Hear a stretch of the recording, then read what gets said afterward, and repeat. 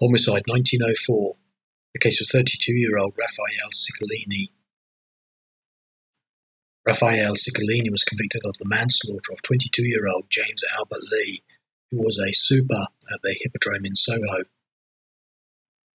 He stabbed him to death during a fight in Old Compton Street at about 12.30am on Sunday the 30th of July 1904. He was charged with this murder and also of maliciously wounding another man. In court, he said that he had been defending a woman from an attack of roughs who had set upon them and that he was innocent. He admitted fighting them, but denied that he had used a knife. James Lee and his friends said that they had been going along Greek Street in Soho when they were drawn into an altercation with foreigners and blows were exchanged. Reports stated that they were quickly surrounded by a crowd, and soon after James Lee realised that he had been stabbed.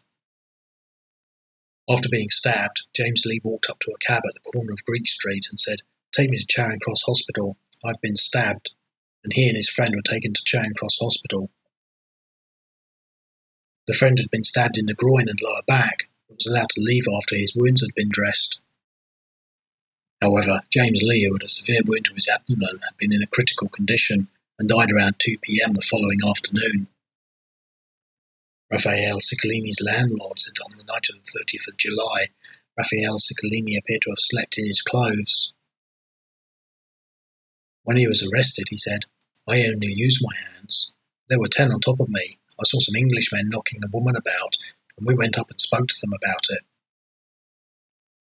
When his room was searched at 14 Arthur Street in Brompton, the police found a bone-handled clasp knife with bloodstains on it in one of the drawers, and it was taken away for examination. When it was examined, it was found to have mammal blood on it and what looked like traces of human skin. The analyst said that the cells of the skin were human epithelium cells. He said that he also found bloodstains on Raffaele Cicalini's clothing, some of which were still glistening.